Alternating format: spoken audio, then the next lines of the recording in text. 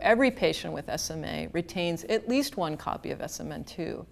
In fact, the copy number of SMN2 varies in SMA patients. Some patients have one copy, others two, others three, or four most often, and rarely there are individuals who have been described who have five copies of SMN2.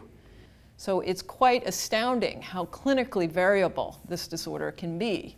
And we know, in fact, that that SMN2 copy number does correlate, generally speaking, with disease severity. So those individuals who have the most severe forms of the disease overall tend to have one or two copies of SMN2, whereas those individuals with mild forms of disease have three or four copies of the, of the gene.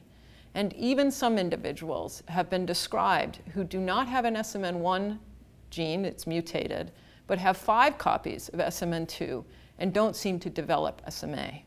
So you can see here this theme that there's a very important relationship between SMN2 copy number and disease severity.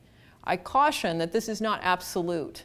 In a given patient, we cannot predict, based on the SMN2 copy number, how severe their disease will be. There are some individuals who have a high copy of SMN2 and yet still have a very severe disease course, and others who have a very mild disease course and yet have a low SMN2 copy number. So on an individual basis, it's not very predictive of disease severity, and that's important for individuals to understand when, they're, when they receive this information about SMN2 copy number.